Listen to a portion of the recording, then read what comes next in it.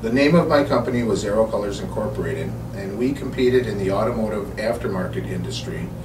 Our, we franchised and operated mobile units that would provide automobile and paint repair services to automobile dealerships. Dan is a very experienced financial person. He also knows the sellers and buyers markets very well, and I would definitely recommend Dan to help another individual or, or even a company sell their business. I think he did a tremendous job for us.